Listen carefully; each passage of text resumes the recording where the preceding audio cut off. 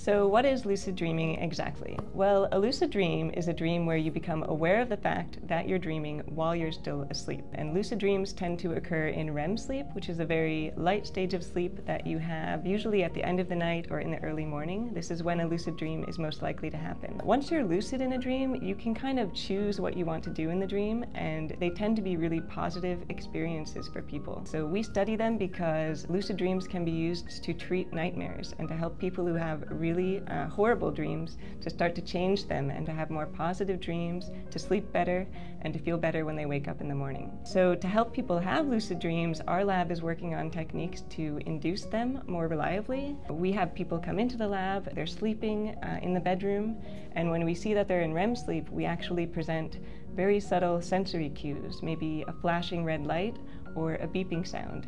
And these cues get incorporated into their dream and serve as reminders for them to remember and to realize that they're dreaming. And then they can become lucid and choose what to do in the dream and maybe fly away or just have a really positive experience.